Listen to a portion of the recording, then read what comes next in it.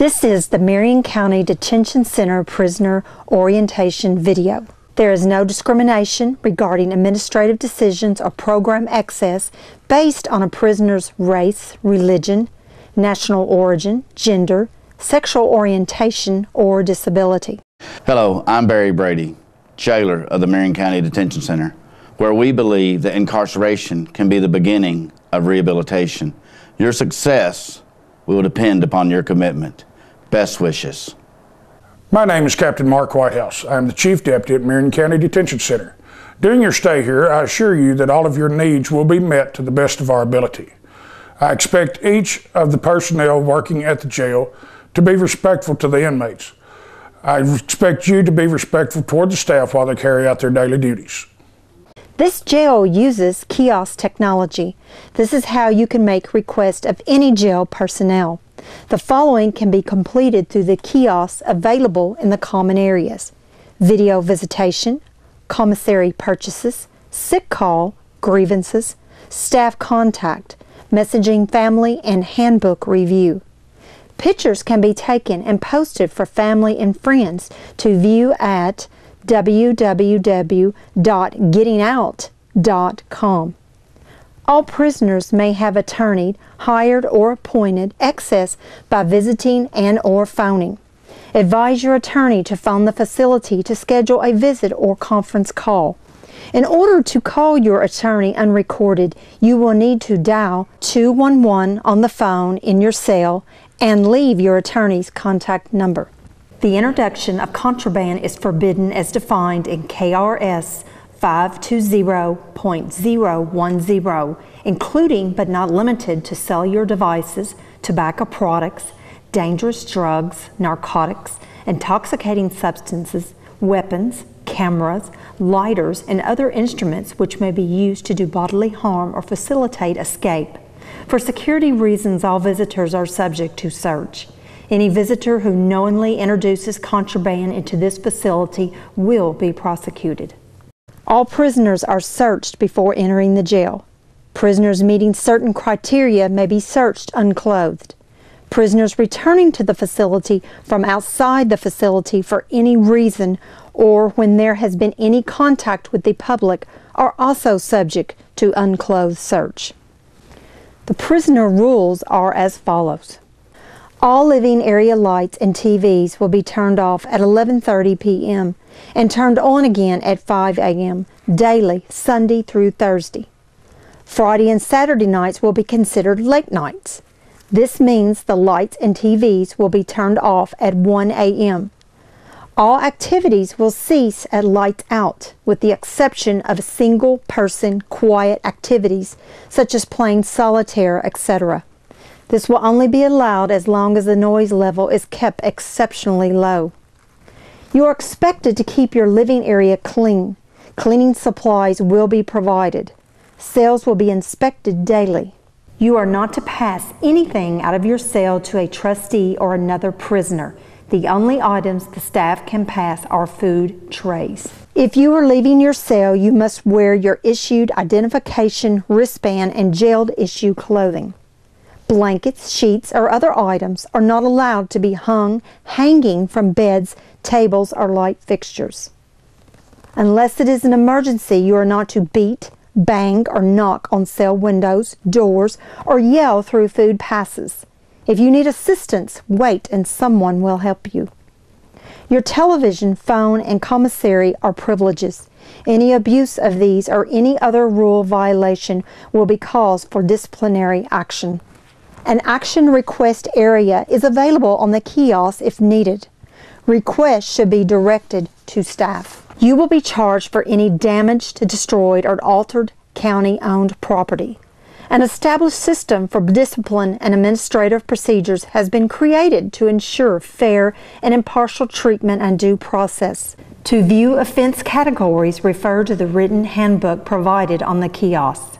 Marion County Detention Center is a no cash facility. Family or friends can deposit cash to a prepaid phone account or a trust commissary account 24 hours a day at the lobby kiosk or by calling 866 516 0115.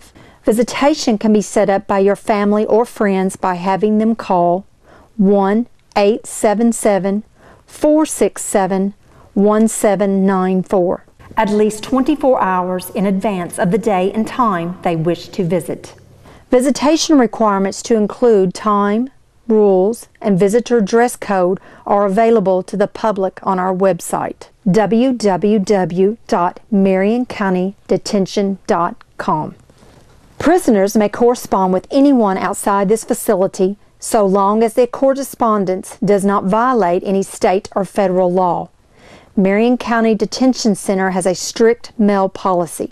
You may request the detailed mail policy using the kiosk system. You may mail the policy to your family to ensure their correspondence with you is not returned.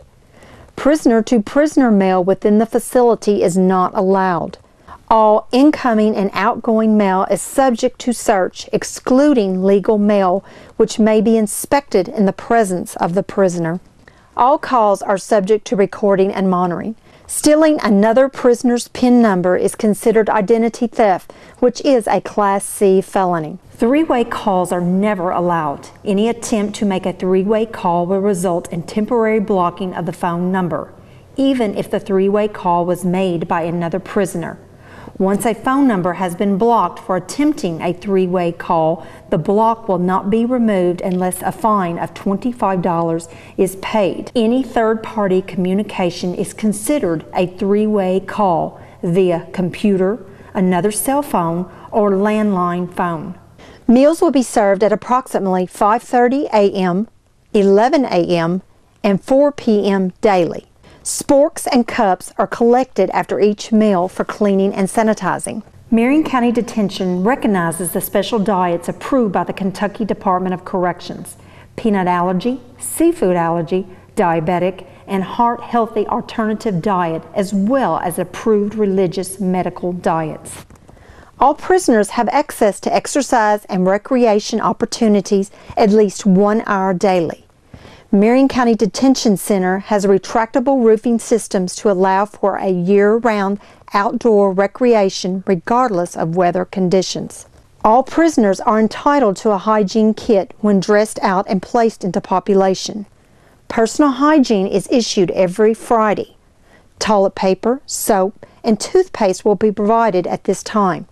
Hand sanitizer is provided in every dorm as well as other areas throughout the facility. Upon request, any other hygiene items can be purchased through commissary. All prisoners are allowed access to the commissary if a positive balance is showed on her his account. Items brought to the facility will not be accepted or approved. All items must be purchased from the commissary. Canteen purchases must be placed by using the kiosk machines in your cells. If you have a positive balance on your account, you will be able to access approved items to purchase. The machines will upload commissary orders on Wednesdays and Sundays weekly.